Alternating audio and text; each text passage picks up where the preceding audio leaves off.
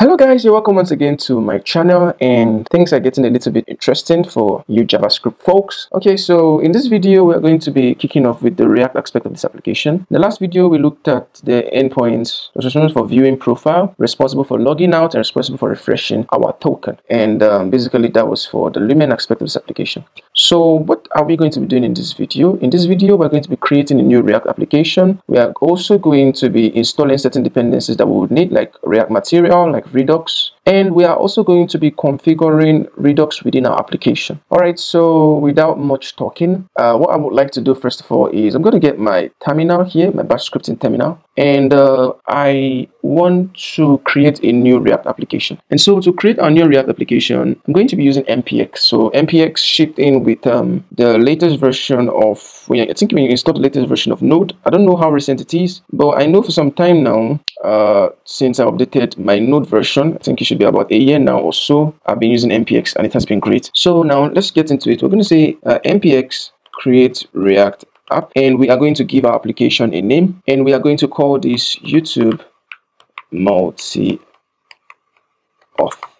And now I click on enter and our application is going to be scaffolding. And right now our application is done scaffolding and I actually paused the video and kind of went to get something to eat. And before I could say Jack Robinson, it has it had scaffolded all the packages. So I kind of dropped my food right next to me. Probably when I'm done shooting this video, I'm going to get back, go back and eat my food. All right, so uh, yep, our application is done scaffolding. Um, what I'm going to do now is I'm going to cd into that directory, which is YouTube multi-auth right? Yep, YouTube multi-auth. So we are within YouTube multi-auth. And um, what I'm going to do now is I'm going to npm start to kickstart our application. And right here, it tells me something is already running on port 3000. Um, I think I have another application running on port 3000 and ah, no, I don't want to close the application now. So I'm going to say, would you like to run the app on another port? I just say yes, and it's going to pick another port for us.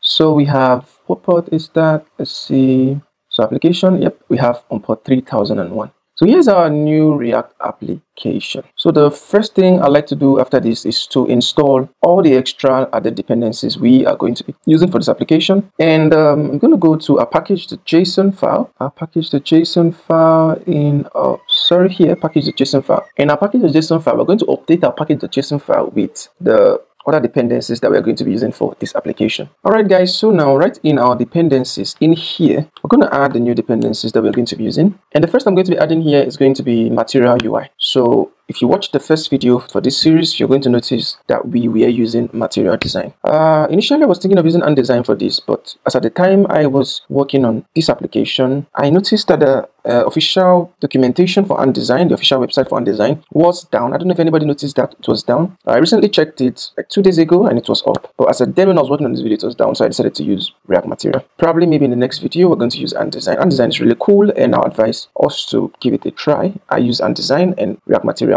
like say today and design this project and design is going to be perfect for it because this is our requirement. Next project okay we're looking at just a web application and a mobile application that's just specifically for android users.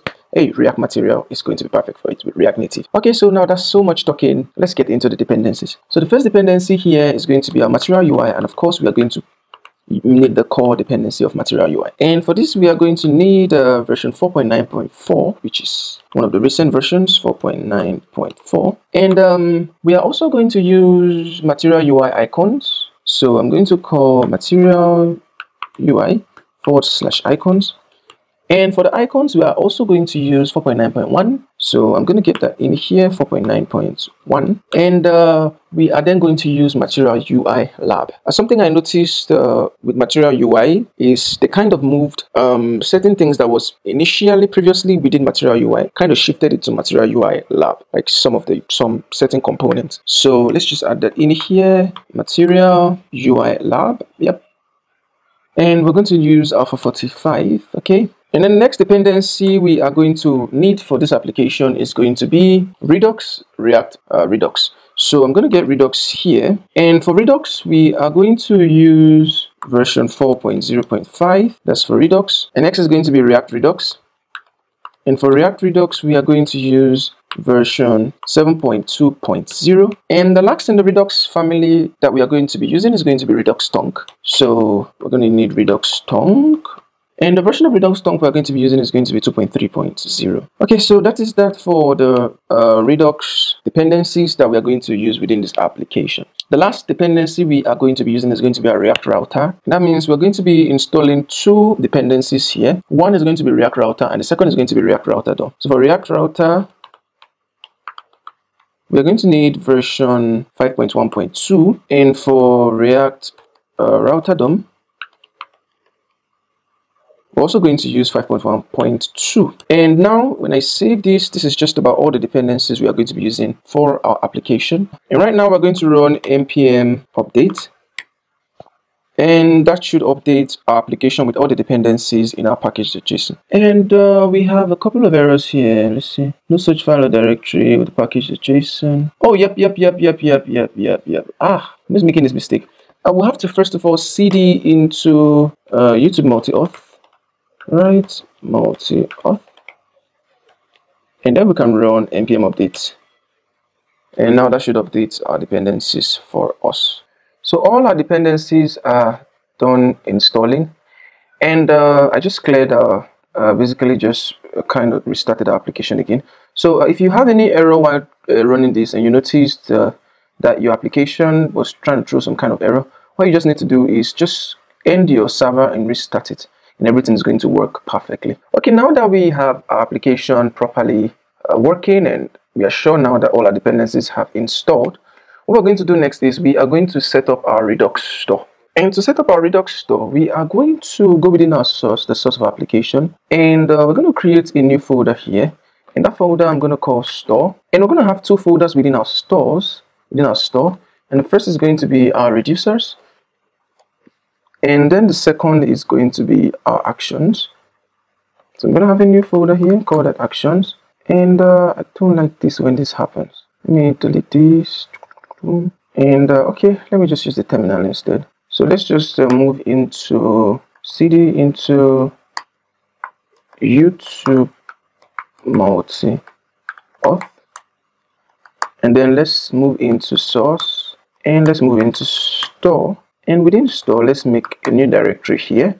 And we're going to call this directory actions. Yep, and now that is cool.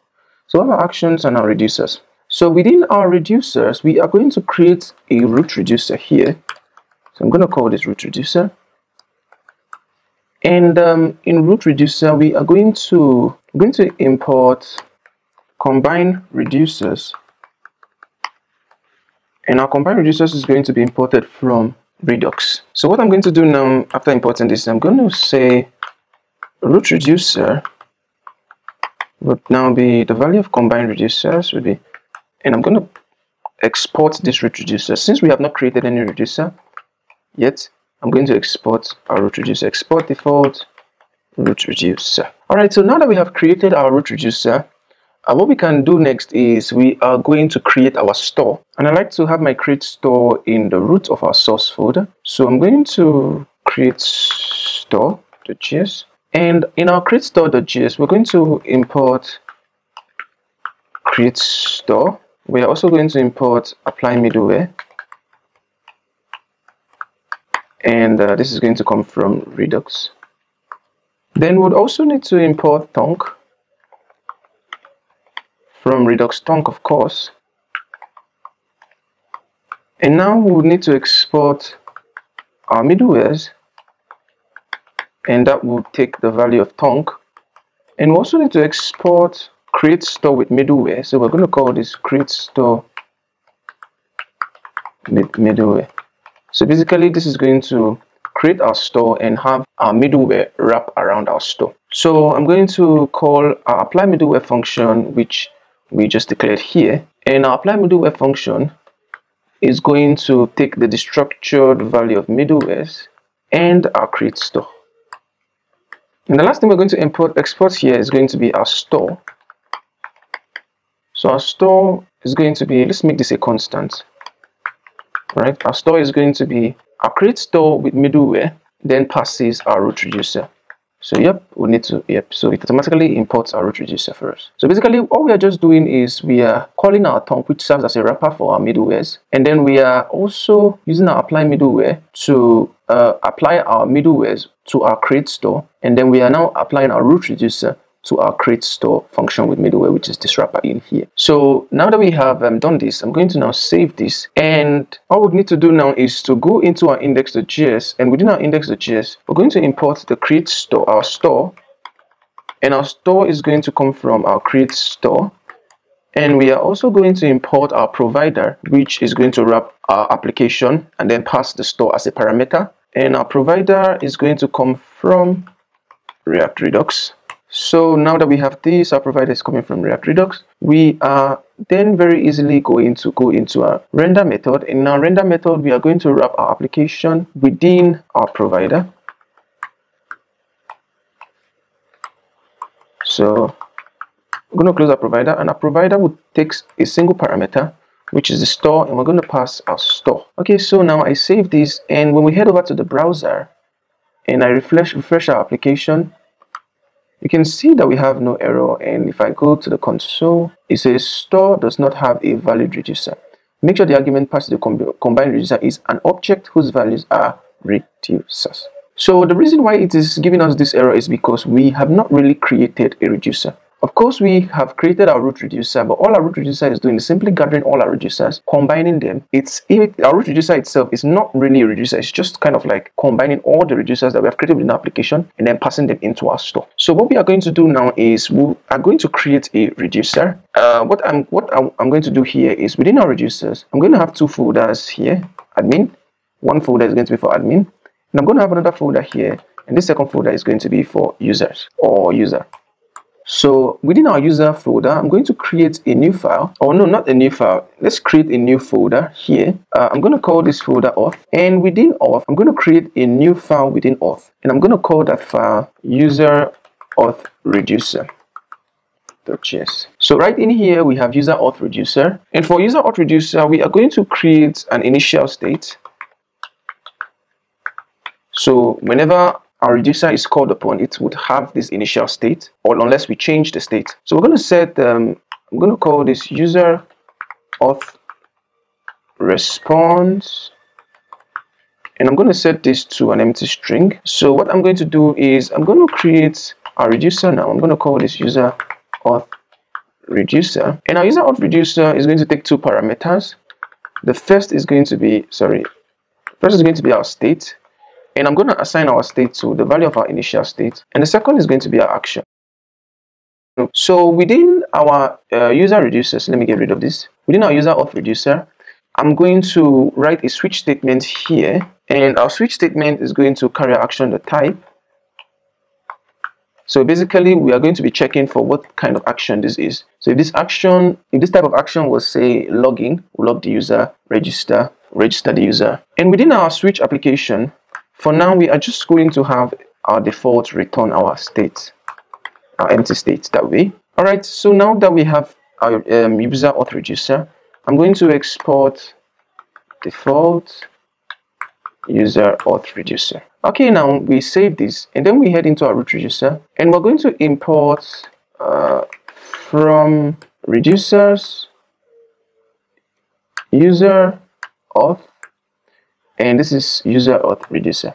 And from our user auth reducer, we're going to import, so let me get rid of this. We're going to import user auth reducer. And uh, having imported user auth reducer, within our reducer, we're going to call user auth.